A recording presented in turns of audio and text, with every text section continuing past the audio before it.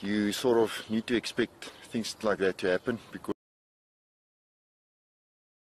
Ako si Mercedita.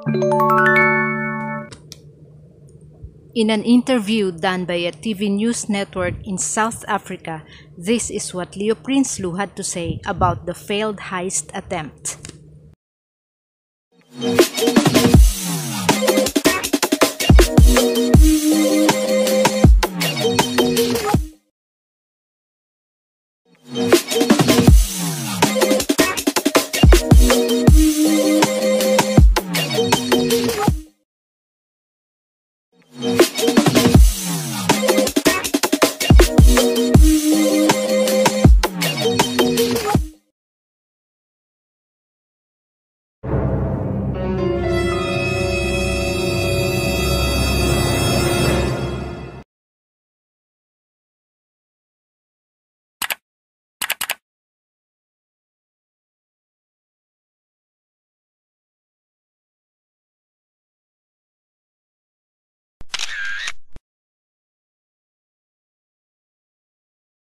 Um, it's very easy in hindsight to criticize what should have what should have been done and what could have been done.